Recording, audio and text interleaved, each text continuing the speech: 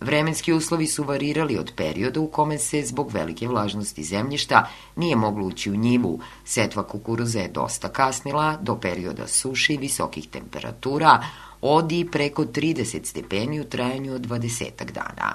U cvetanju ponovo padavine i uslovi povoljni za razvoj bolesti.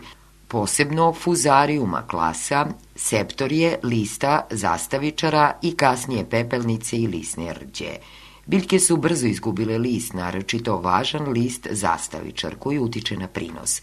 Napad brojnih bolesti značajno je ugrozio prinose.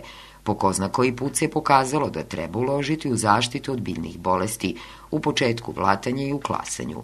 Već nekoliko godina za redom bolesti ugrožavaju visinu i kvalitet prinosa, dodaje Stanković.